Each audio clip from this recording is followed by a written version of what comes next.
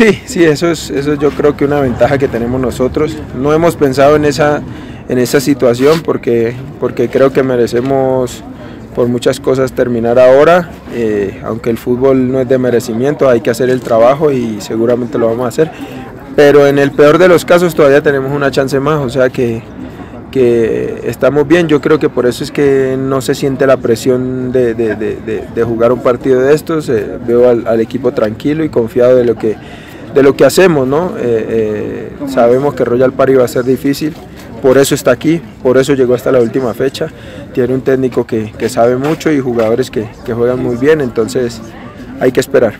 Y puede ser aún más difícil si, si llueve, ¿no? donde no puedan jugar. Sí, sí, eh, es, es, difícil cuando, cuando la cancha está muy mojada o con charcos porque nuestro fútbol se basa en, en la pelota eh, en el piso, ¿no? Pero, pero bueno, esperemos que San Pedro también sea hincha de San José y, y nos dé una manito mañana con, con, con la lluvia. Gracias. Jair, al finalizar este campeonato, objetivo muy cerca, 90 minutos nada más.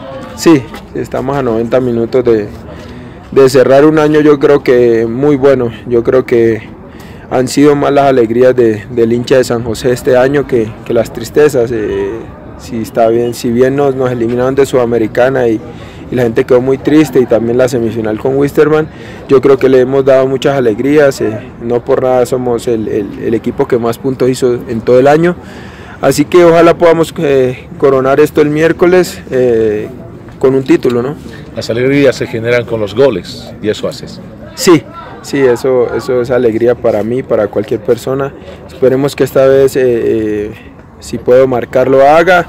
Pero como le decía a tus colegas, si me toca atajar, voy a atajar. No, no me interesa ahora pensar en, en, en mí, me, me, interesa pensar en el objetivo que, que nos hemos trazado todo el año. Una miradita hacia el futuro, ya hay equipos rivales en la Copa Libertadores. ¿Qué opinión tienes? Sí, ya ayer se hizo el, el, el, el sorteo y, y bueno, eh, está bien difícil. Ahora no, no, hay, no hay equipo fácil en, en Libertadores y en, y en, Sudamericana. Está lindo para los equipos bolivianos y bueno, ojalá, ojalá a todos, todos nos vaya bien en esas copas internacionales. Nosotros ya tenemos copa internacional, pase lo que pase. Así que ojalá, ojalá nos vaya bien a todos, porque eso, eso hace ver bien al país, que, que es lo que más se necesita. Minuto cero en acción.